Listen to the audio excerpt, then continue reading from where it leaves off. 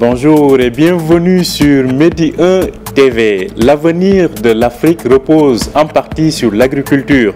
C'est ce que vient de rappeler donc la FAO qui incite à investir davantage dans le secteur de l'agro-industrie. Quel est l'avenir de l'agro-industrie et en quoi ce secteur peut permettre à l'Afrique d'atteindre donc l'autosuffisance alimentaire. Nous en parlons ce matin avec notre invité. Il s'agit d'Espoir Olodo. Il est journaliste spécialisé en agriculture et en agro-industrie à l'agence Ecofin. Bonjour euh, Espoir Olodo.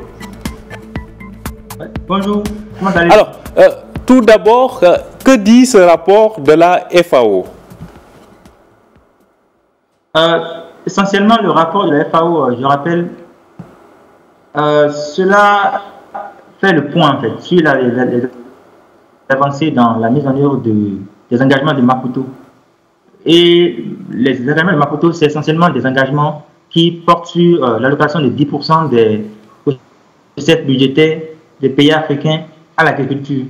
C'est-à-dire, chaque année, les, pays africains se sont engagés à débourser 10% de leur budget au profit de l'agriculture qui est quand même le moteur de, la plupart des économies d'entre elles. Donc, euh, par rapport au rapport qui est sorti le 10 mai, euh, cela montre une fois en plus que le chemin reste encore long. Parce que le rapport a fait étudier 15 pays. 15 pays, donc, euh, le rapport dit en fait que dans la plupart de ces 15 pays-là, euh, le, le pourcentage de 10% n'est pas respecté en fait. Tout de plus, c'est à la limite 3% qui sont réellement consacrés au, secteur agricole. voyez, donc c'est le rapport dit que c'est le Malawi essentiellement qui s'en sort. C'est le Malawi seul qui a pu allouer 10% de son budget à son agriculture. Mmh. Mmh. Et, que recommande ce rapport aujourd'hui euh, Il constate que donc euh, les investissements ou les budgets attribués au secteur agricole sont insuffisants. Que préconise-t-il euh, au Lodo d'espoir?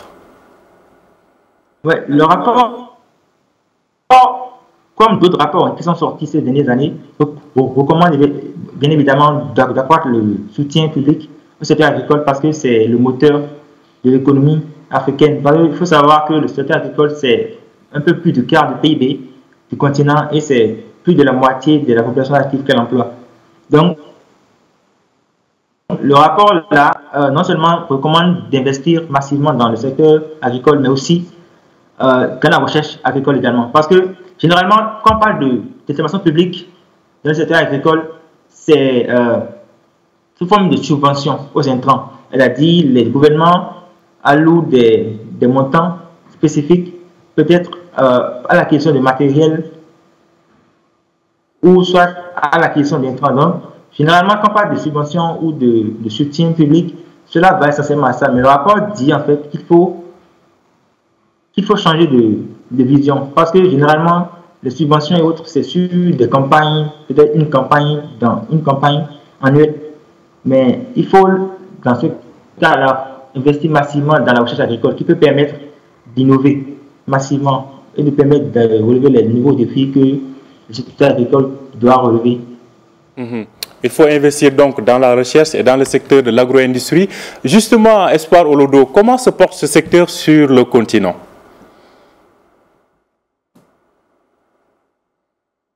Euh, Quand on parle d'agro-industrie, euh, les termes sont un, peu, sont un peu interchangeables avec l'agroalimentaire Puisque, quand on parle d'agro-industrie, cela regroupe l'agroalimentaire, c'est-à-dire l'ensemble des activités de transformation physique des produits agricoles, soit en des produits finis directement consommables, ou soit c'est en des produits euh, qui pourront servir ultérieurement.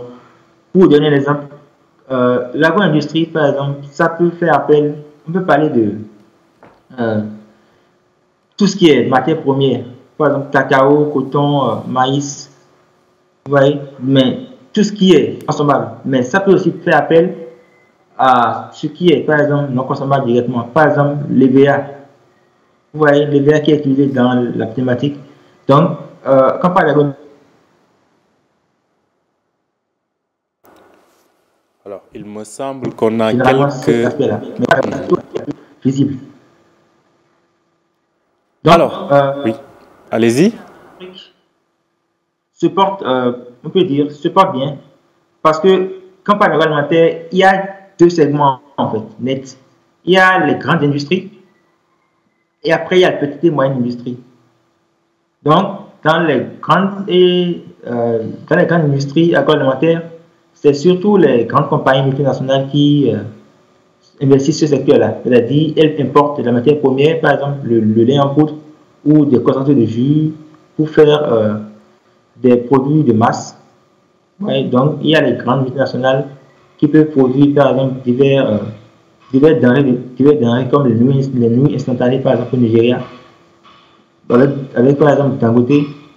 Donc, c'est un peu ça. Après, il y a le secteur artisanal qui est moins visible, mais qui a toute une importance dans l'agroalimentaire africain. Parce que c'est elle qui génère assez de revenus pour plusieurs couches sociales, comme les, femmes, les jeunes.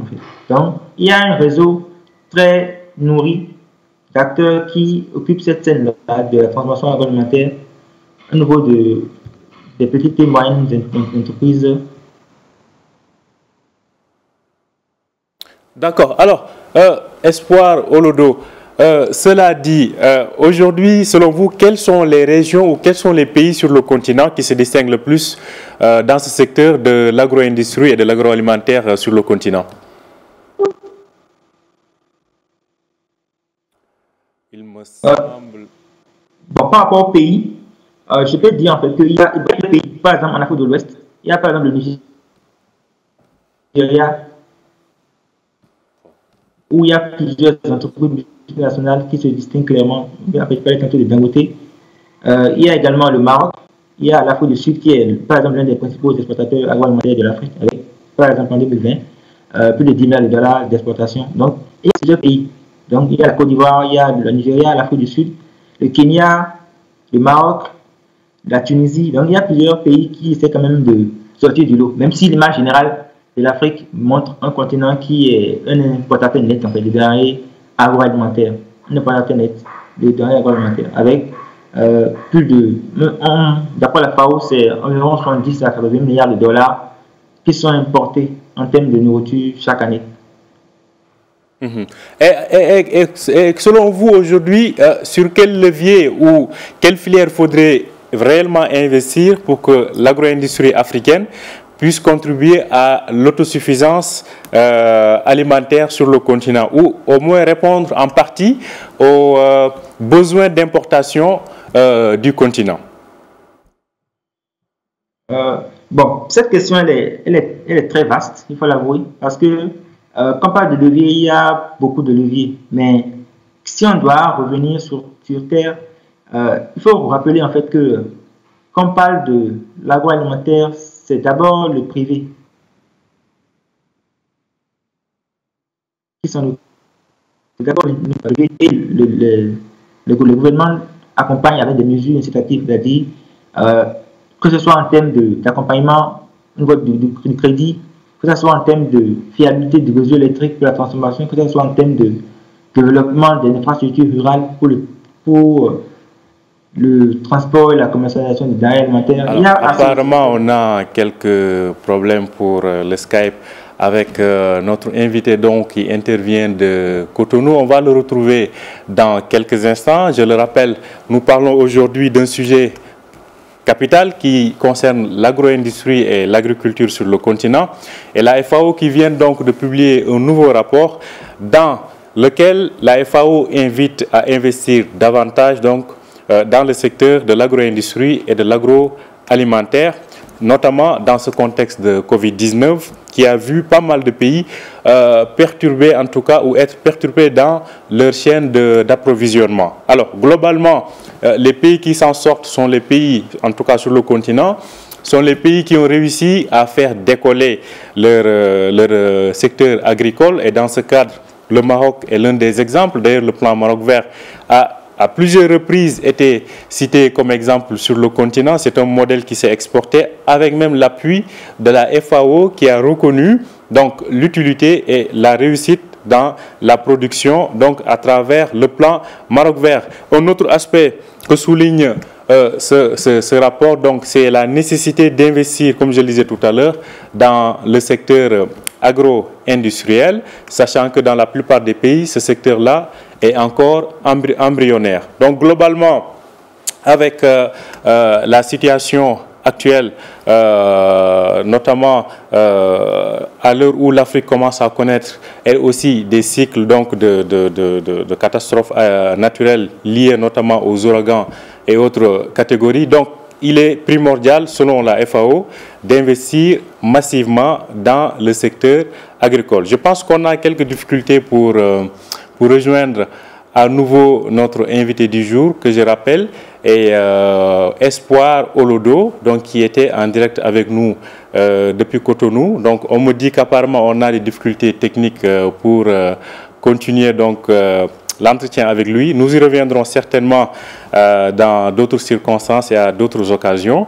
Donc c'est la fin de cette interview, on y reviendra prochainement, donc qui portait, comme je le disais, sur le secteur agricole, la FAO qui invite les pays africains à davantage investir le secteur agricole.